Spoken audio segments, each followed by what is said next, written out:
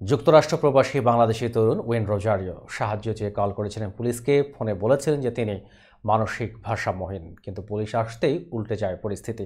নিজের ডেকে আনা পুলিশের গুলিতেই প্রাণ যায় উনিশ বছর বয়সী তরুণের। ঘটনাটি ঘটেছে নিউ ইয়র্ক অঙ্গরাজ্যের ওজন পার্কের একশো একতম অ্যাভিনিউয়ের একশো তিনতম স্ট্রিটে অবস্থিত ফ্রান্সিস রোজারিওর বাড়িতে স্থানীয় সময় বুধবার দুপুর দেড়টার দিকে। মার্কিন সংবাদ মাধ্যম সিবিএস নিউজের প্রতিবেদন অনুসারে পুলিশ জানিয়েছে, বুধবার দুপুরের দিকে নয়, এক এক নম্বর থেকে ফোন আসে তাদের কাছে। ফোনের অপর প্রান্ত থেকে ওয়েন রোজারিও নামে ওই তরুণ জানান তিনি মানসিক ভারসাম্যহীন।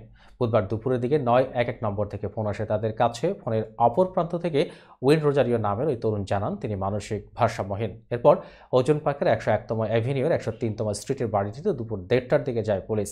বাড়িটির দ্বিতীয় তলায় উঠে ভেতরে ওয়েন রোজারিওকে দেখতে পায় তারা। এ সময় তাকে হেফাজতে নেওয়ার চেষ্টা করেন পুলিশ সদস্যরা। এ অবস্থায় ওই তরুণ নিজের হাতে থাকা কাঁচি নিয়ে তাদের দিকে তেড়ে এলে সরাসরি গুলি করা হয় তাকে। পরে জ্যামাইকা হাসপাতালে নেওয়া হলে উইনকে মৃত ঘোষণা করেন সেখানকার চিকিৎসক।